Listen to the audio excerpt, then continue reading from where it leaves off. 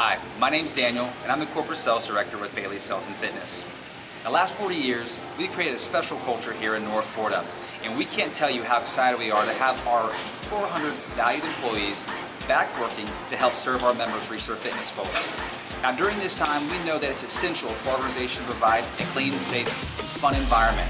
So we're taking extra measures to periodically close our pro shop in what we call a team clean, where all members of staff are going on the gym floor and touching and cleaning and sanitizing touch points as well as all the gym equipment. We're so happy to get back to what we do, which is offer the best facilities at the best value, which is served by the best staff.